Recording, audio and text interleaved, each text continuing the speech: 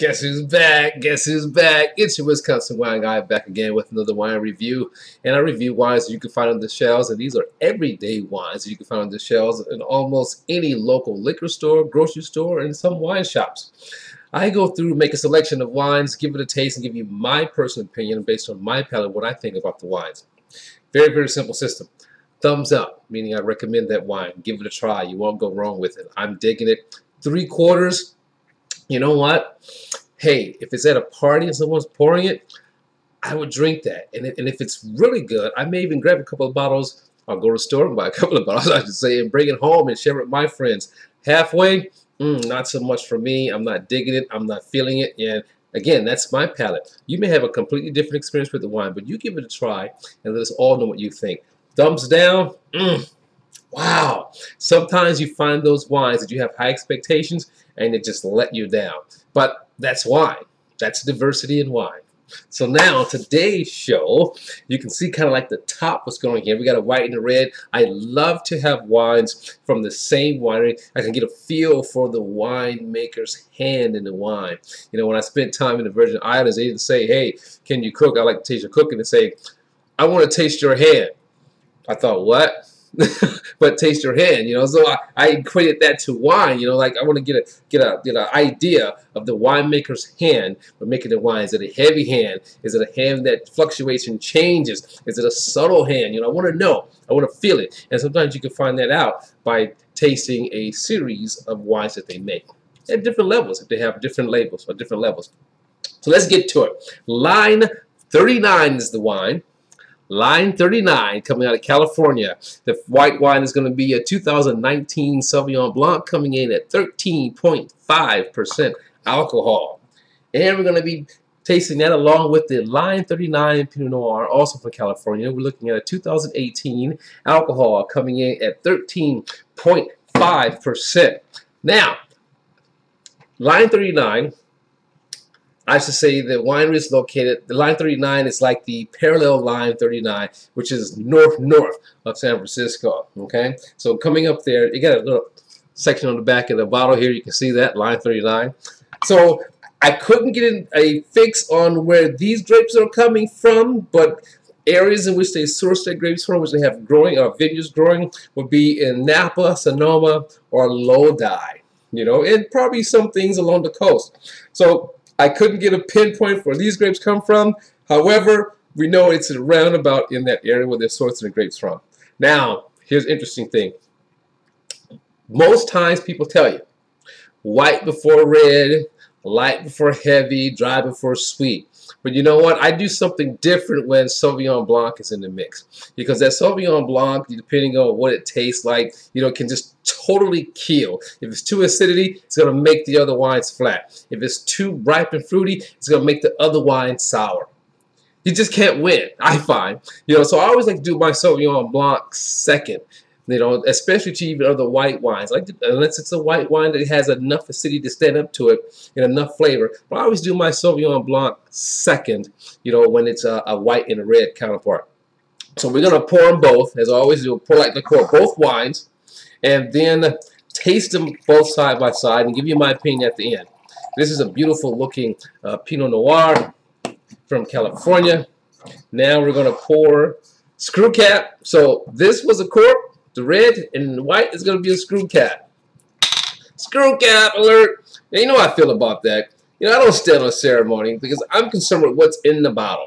What's in the bottle is what's more important to me. If it tastes bad, guess what, folks? It went into the bottle that way. You can't blame it on the cork. You can't blame it on oxidation. You can't blame it on shrinkage. You can't blame any of that. It just went to the bottle that way. All right? So here we go. Nice little swirl. Both of these wines coming out of the bottle, opening up you know, had a very nice aroma to it. Very nice bouquet. So here's a Sauvignon Blanc, okay? A greenish haze to it, a greenish color to it. It doesn't look like it on your end, but on my end, there's a slight greenish tint blended in with the yellow. All right? On that end, looking in the video, from what I'm seeing, it's like almost like a clear with yellow tints. All right? Completely different. It's video. The Pinot Noir, okay? Pinot Noir. Now, coming out of California, unlike maybe Oregon or Oregon or uh, France, the Pinot Noir, the grape is going to be a lot riper, so it's going to be a lot darker. Check that out. Isn't that beautiful? So now we're talking about, you know, deep purple, deep garnet color here. You know, so a lot darker than Pinot Noir. Let's give it a nose. Yeah, as I said, Sauvignon Blanc goes second. So let's do the nose on the Pinot Noir first. Let's just call it PN or Pinot. All right? Mm. Wow, that nose is phenomenal. I mean, dense fruit, almost like cooked fruit. You know, like if you're getting ready to make a sauce. And then there's those undertones, there's some citrus notes to it. For me, cherry and plum, but more cherry. Oh, that's nice. And you get those hints of vanilla coming in. That's from the oak aging. Now for the Sauvignon Blanc. Stainless steel. Wow. Now, Sauvignon Blancs from almost anywhere outside of New Zealand. All right, it's not going to give you that crazy acidity, you know, and not give you that crazy intensity of grassy notes and and grapefruit, you know, but you're going to get those, but in a much more subtle or subdued form. But here, grapefruit for sure. Grapefruit with the undertones for me of white peach, but that grapefruit is just right there. It's very nice. So very fresh, very pleasant. Now, just on the nose alone tells me if I were to drink this first, that Pinot Noir, dead on arrival. Dead. All right. So that was your wine tip for white before red, red before sweet. Yeah, forget all that. But if a Sauvignon Blanc is involved, yeah, Sauvignon Blanc isn't isn't gonna go first. In my palate, that's for sure. So let's give it a taste. Now, I can't go back and forth. So I'm going to taste this twice. I'm to do my rinse because I want to taste the acidity. And then after my rinse, then I'm going to taste it and to, to come to a conclusion what I think about it. Then I'm going to go and taste the Sauvignon Blanc, do the same thing. And then I'm going to do one more thing. I'm going to see if the Pinot Noir would play nice at the Sauvignon Blanc. Can these two wines play nice together? Let's find out. All right, so here we go. Acidity first. Mm.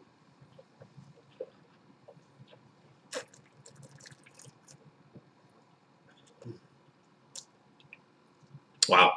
Very elegant. Balanced across the board. Balanced with the fruit. Balanced with the oak. Elegant, as I said earlier. Very, very elegant. Very pleasing. Very easy to drink. There's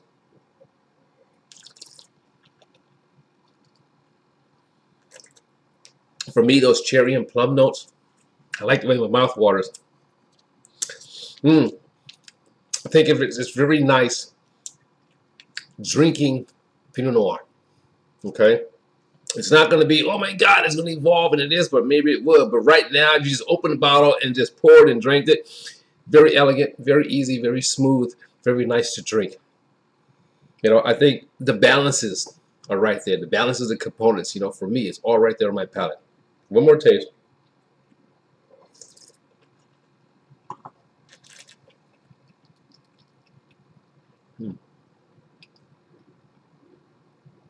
Wow. I know how I'm going to grade that one. Now let's go to the Sauvignon Blanc. Acidity first. Ah, grassy citrus. Ah. you can get carried away with the smell stuff, but here we go.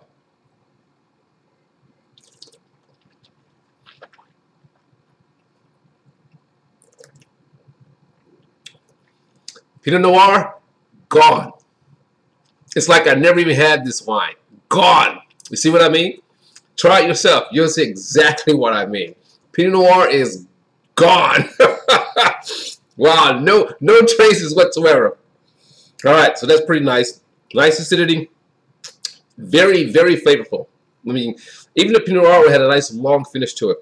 Very, very flavorful. Nice finish, but gone Pinot Noir. Now for the taste.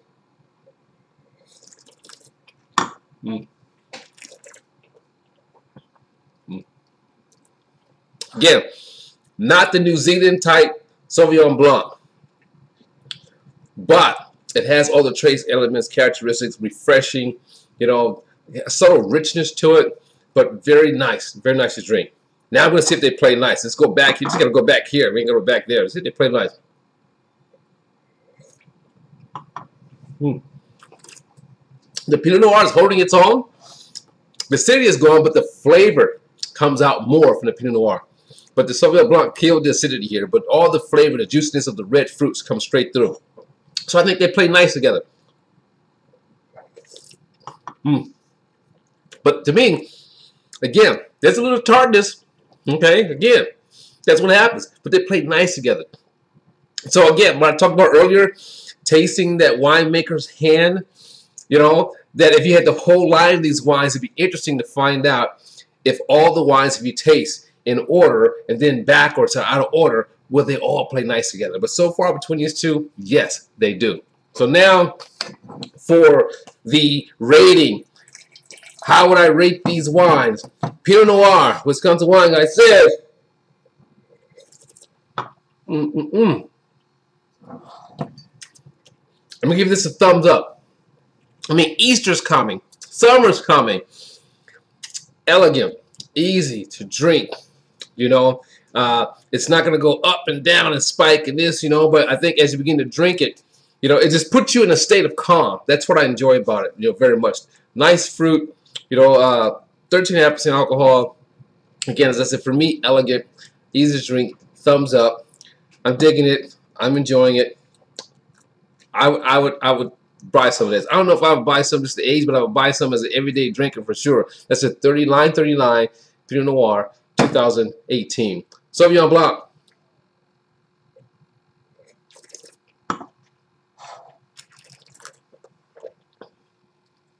Mm. Going back to Sauvignon Blanc. Now the Pinot Noir says, hey, wait a minute, back it up, back it up. I love when wines, you know, play dirty with each other.